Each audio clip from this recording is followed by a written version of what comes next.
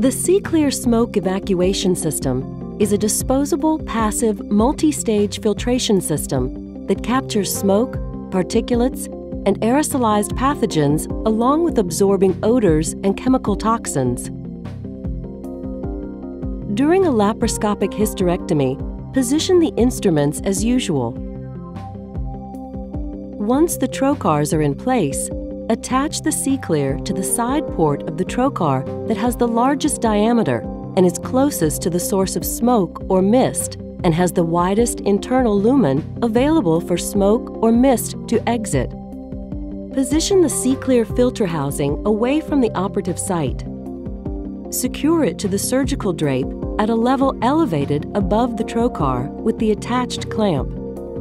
Open the side port of the trocar to its full open position before smoke or mist is created, and then initiate the procedure.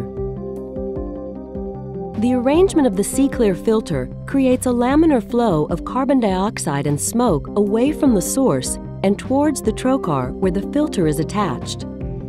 As smoke is created, smoke or mist flows out with the CO2 without first passing across the field of view, maintaining clear vision of the operative field.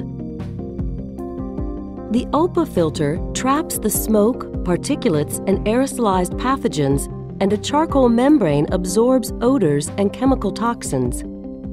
The SeeClear filter has a pre-calibrated pressure differential to produce a specified flow rate, maintaining pneumoperitoneum. No adjustments are needed.